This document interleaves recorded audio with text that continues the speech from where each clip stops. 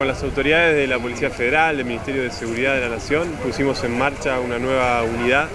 unidad de despliegue móvil. Son más policías para Morón, en este caso policías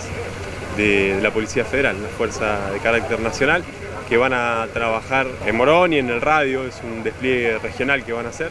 Para eso nos hicimos eco de, bueno, obviamente del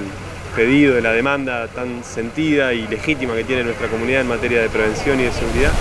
y decidimos traducirla en este hecho concreto. Nos pusimos a trabajar junto con el Ministerio de Seguridad, le pedimos que trajera esta nueva unidad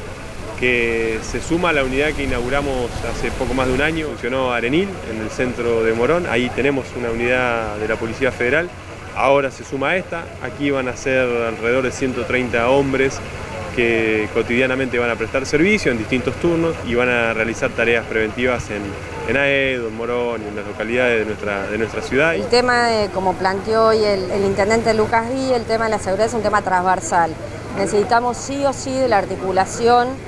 entre municipios, entre la provincia y la nación, pero a través de todos los actores, que esto es el sistema de administración de justicia y obviamente las fuerzas federales. Acá se crea una unidad de despliegue móvil que va a tener como objetivo primordial trabajar en la prevención de los delitos, en la prevención, en la protección y en la intervención de delitos que ocurran en, en Morón.